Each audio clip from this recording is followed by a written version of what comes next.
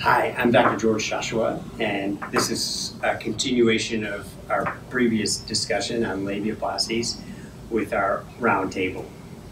And uh, here we're going to be talking about labia majora reduction.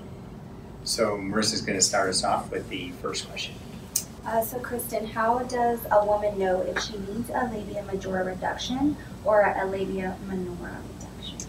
So um, this kind of goes down to getting a better idea of the labial anatomy. Um, the labia majora are the outer labia, or um, kind of what you would see if you were to look down at the vagina. The labia minora are the inner labia, and it's sometimes you know we have this conversation with patients regularly, and they think they have labia majora problems when it's actually labia minora because the labia minora are so long they hang outside, and so they consider those the labia that are outside but the thinner um, labia that kind of um, droop or kind of dangle in the vagina are the labia minora, um, and and this is kind of how we you know talk to patients about well which which is the problem for you, which is the most bothersome, and sometimes it's both, and sometimes it's one versus the other. Okay, so Sarah, what are some common complaints women who have enlarged labia majora have? Yeah, so similar to labia minora, sometimes it's size, appearance, discomfort with tight clothing, bathing suits. Um, and then also women who have experienced significant weight loss or um, with age as estrogen decreases and the fat kind of decreases there, the skin itself can droop and sag. So with the majora reduction, that excess drooping skin is removed um, and any underlying fat that needs to be taken out is removed as well. And Dr. Shashoua, what are some common reasons that you see in patients who are getting the labia majora reduction done? So I think the biggest thing with the labia majora is just protrusion of the outer labia, outer lips, especially as pressure is put on that area. Um, in a lot of patients, it's the skin and the fatty tissue, and in some other patients, like Sarah mentioned, it's just the skin.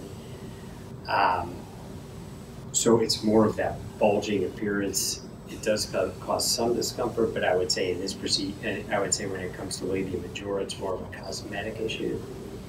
And um, the one thing we also see is in some patients where the pelvic floor is dropped, the labia majora drops, and you can't just remove. And in those patients, we explain that the treatment's not removing the labia majora; it's fixing the pelvic floor or elevating the pelvic floor. Kristen. So how common are labia majora reductions compared to labia minora? Um, labia minora reductions um, typically tend to be um, a higher volume for our practice. Um, I would say on average we do about 10 labiaplasties for every one labia majora.